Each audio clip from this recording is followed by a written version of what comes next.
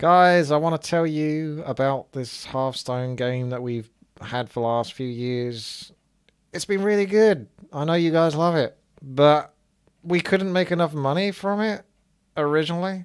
So what we decided to do was release four expansions each year and 80 cards. So you'd have to buy them all.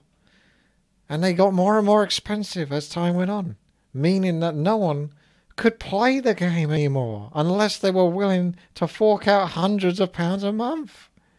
That's how we make our money. And we hope you're proud.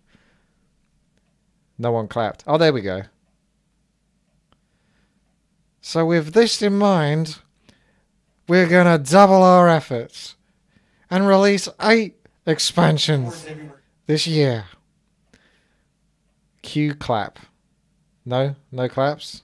Well, guys, these expansions are really good, so you will clap for them. We'll show them off in a moment.